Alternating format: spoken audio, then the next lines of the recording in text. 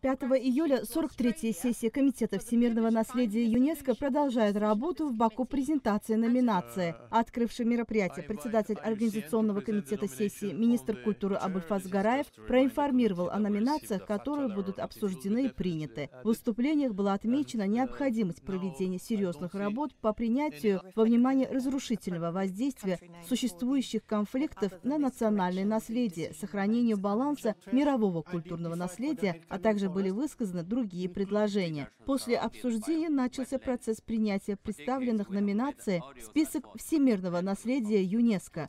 В первую очередь в список будут включены природные номинации, затем смешанные, а в самом конце культурные. В первую очередь был рассмотрен вопрос включения в список всемирного наследия природного участка перелетных птиц на Бахайском проливе на берегу Желтого моря. Эту номинацию поддержали 18 стран. Таким образом, природный участок перелетных птиц на этом морском берегу, находящемся между Китаем и Корейским полуостровом, был включен в список всемирного наследия. Это первая номинация, включенная в список всемирного наследия на 43-й Бакинской сессии Комитета всемирного наследия ЮНЕСКО. Серда Джафарова, Авкам Пулатлы, Азартач.